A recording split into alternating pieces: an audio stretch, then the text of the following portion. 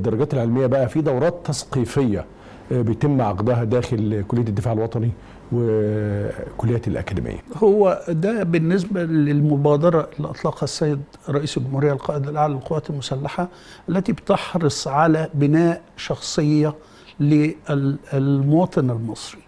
ولا تبنى هذه الشخصية إلا لما نحصل على مواطن مثقف يقدر يستطيع أن يجابه كل التحديات والحروب الحديثة الموجهة للفكر. وزي ما بنقول دائما وأبدا أن الفكر لا يجابه إلا بفكر. وعلشان نحقق هذه المعادلة بتقوم الأكاديمية بدورها. في اتجاه القطاع المدني بعمل العديد من الدورات التثقيفية في مجالات مختلفة مجالات الاستراتيجية والأمن القومي في مجالات صنع القرار في مجالات الأزمات والتفاوض في العلوم المستقبليات بالإضافة إلى مواجهة الحروب الخاصة بالجيل الرابع وكذا أسلوب التفكير المستقبلي الحديث دي دورات تجريد ست إحنا تمام. ما كناش لنا الحظ ان إحنا ناخدها بس إن شاء الله ناخدها نتشرف بحضرتك دائما. والجميع مواطني الشعب المصري الأصيل الالتحاق بمثل هذه الدورات المدنية ست اللي هو أحمد بيتم إزاي؟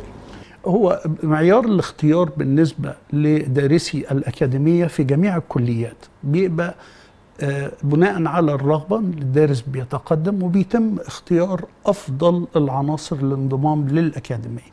من خلال إجراء اختبارات هذه الاختبارات متعلقة بالجوانب والعلوم النظرية بالإضافة للياقة البدنية والعلوم واختبارات ده نفسية. بالنسبة للزمالة ولا بالنسبة لل لجميع للماجستير لخريجي القادة والأركان وكذلك بالنسبة للزمالة. أما بالنسبة الدورات لل التثقيفية. بقى. الدورات التثقيفية بي دي مفتوحة لجميع العناصر آه، الشعب المصري لكل من لديه الرغبة إحنا بنتشرف بيه طبعا. بيبقى الهدف منها آه، زيادة الوعي والتثقيف لدى المواطن بالإضافة لتبادل الآراء وحرية التعبير عن الفكر.